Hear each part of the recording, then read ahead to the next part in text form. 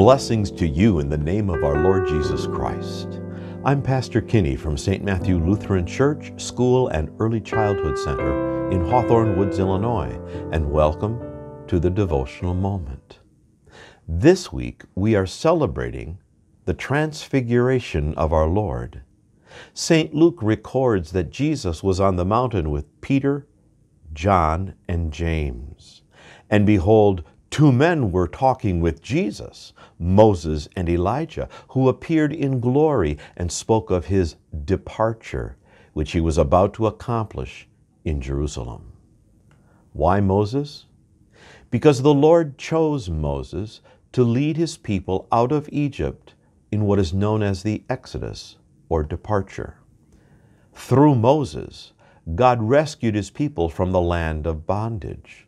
The Lord saved them from the land of slavery and brought them to the promised land, a land flowing with milk and honey.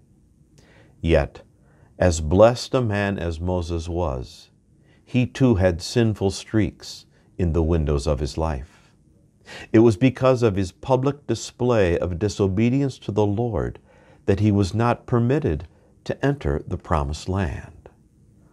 But that's exactly why the beloved Son of God, Jesus the Christ, came to this earth to deal with sin the sin of Moses, my sin, your sin, the sins of all people for all time. Jesus Christ came to lead his people, you and me, in the Exodus or departure from the bondage of sin, and to give you and me in that same Exodus his promised eternal life in heaven. Let us pray. O God, in the glorious transfiguration of your beloved Son, you confirmed the mysteries of the faith by the testimony of Moses and Elijah. In the voice that came from the bright cloud, you wonderfully foreshowed our adoption by grace.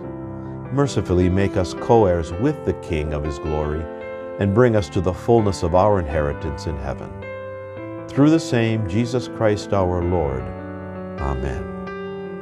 Until next time, please remember that God sent his Son to save you from the land of sin and into his glorious heaven. And thank you for joining in the devotional moment.